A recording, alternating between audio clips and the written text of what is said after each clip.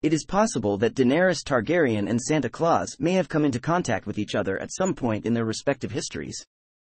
Considering their respective roles as leaders and rulers, it is likely that they would have had some sort of diplomatic or political relationship.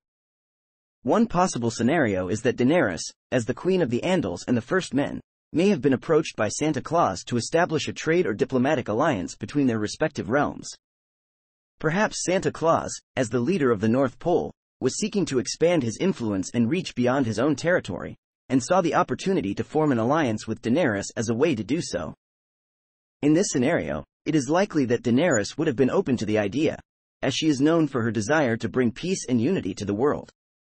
She may have seen the opportunity to work with Santa Claus as a way to further her own goals of building a better world for all people. One potential area of cooperation between Daenerys and Santa Claus could be in the realm of gift giving. It is possible that Santa Claus, with his vast resources and expertise in the field of gift giving, may have offered to help Daenerys with her own gift giving endeavors.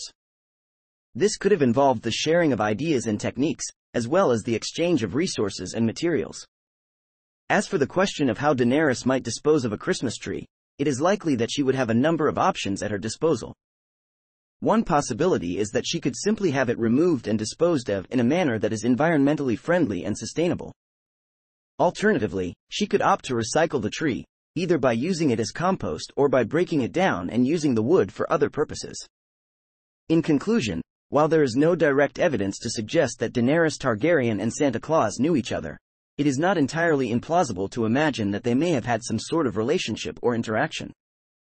Whether through political or diplomatic means, or through the exchange of ideas and resources, it is possible that these two powerful figures could have found ways to work together for the betterment of their respective realms and the world as a whole.